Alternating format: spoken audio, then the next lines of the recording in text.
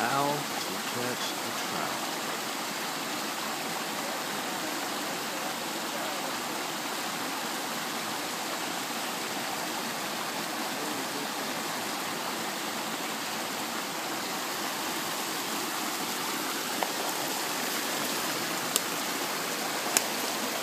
Yeah, you can come in. Uh, cross over and let the fish over there 'cause we're gonna move to another pool after that. Okay.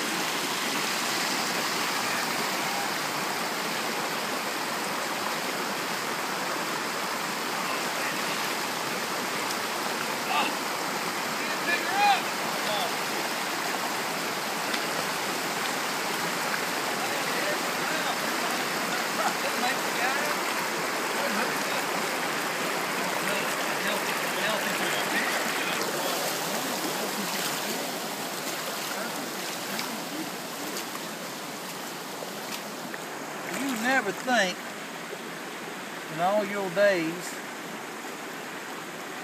that you can catch a fish on an itty bitty hook, huh? Little bitty hook with uh, that looks like something you would have gone to Alaska to get. Yep.